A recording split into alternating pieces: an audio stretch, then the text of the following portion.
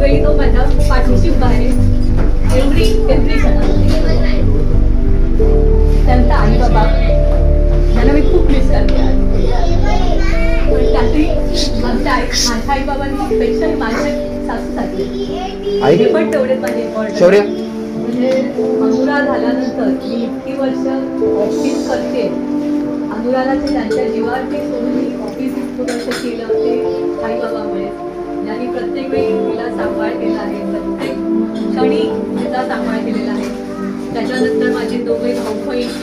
जे जरा म्हणजे मला काही झालेलं तरी समजलं तरी त्यांना त्यांच्या डोळ्यात पाणी येतं. असे ते दोन भाऊ बहिण्या काही काळामध्ये माझ्या माहेरी जरी असे प्रॉब्लेम झाले त्यावेळी प्रत्येकाने मला इतका सपोर्ट केला आहे. त्याच्यामध्ये येतात शीला शिरू काका ते माझे सेकंड आई बाबा म्हणता येईल सगळ्यांना स्त्रियाचा त्यावेळी भरभक्कम त्यांनी मला पाठीशी उभे राहिले. तिला शिरू मुंडी पण त्यावेळी होती जिने तिला त्या क्षणी जॉब आणि तिला मानसिक आणि शारीरिक सगळा सपोर्ट केला. म्हणजे ते सगळं असं काय म्हणतात ते असं पेलवता आलं. त्या तुमच्या सगळ्यांच्या सपोर्टमुळे सगळे म्हणजे सगळे म्हणजे बिना काही प्रत्येक मानसिकरित्या शारीरिकरित्या सगळ्या बाबतीत मला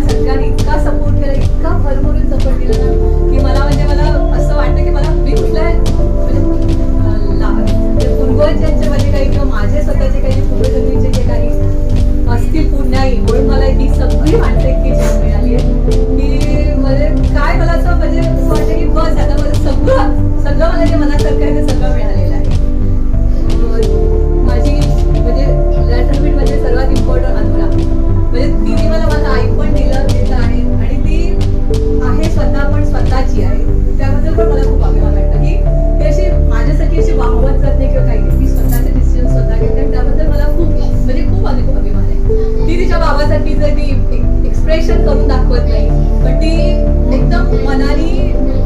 प्रेमळ आहे पण ते एक्सप्रेस करत नाही कधी. आणि एकदम निष्कपटी आहे. त्यामुळे त्याचं पण मला आहे की माझी मुलगी पण मला हवी तशी आहे. आणि म्हणजे असं सगळं भरभरून आहे त्यामुळे आता मी खूप अशी खुश आहे. म्हणजे सगळ्यांचे खूप खूप आभार त्यासाठी. थँक्यू मला ऑडिशन याबद्दल मला म्हणजे माझ्या लग्न झाल्यानंतर जे आमचं म्हणजे म्हणतात डिफरन्स खूप होता. म्हणजे आम्ही एकदम मिडल लोअर मिडल क्लास आणि हे मिडल क्लास म्हणजे थोडंसं.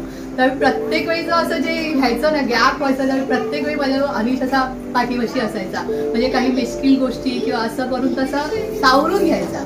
नंतर अनुराच्या लहानपणी तर अनु नेहाची इतकी मदत म्हणजे मला ऑफिसला तर कंटिन्युअस जावं लागायचं. तर तिचं हे असं काय म्हणतात ते? शाळेचे कॉम्पिटिशन्स आणि हे सगळं असताना प्रत्येक मला अजून नेहाला सांगावंच लागायचं नाही की तुला जायचंय. ती प्रत्येक पुढे यायची. म्हणजे तू काळजी करू नकोस. मी बघेन. म्हणजे आय थिंक की मला ती माझी जी मैत्रीणच आहे म्हणजे बहिणीपेक्षा ही मैत्रीण जवळची आहे. तिला आपणच कळतोय मला काय हवंय त्यामुळे तिला काय म्हणजे ती वन ऑफ द माझा पार्ट आहे ती. त्याला असं मी गेस करू शकत नाही. थँक्स म्हणायलाच नको.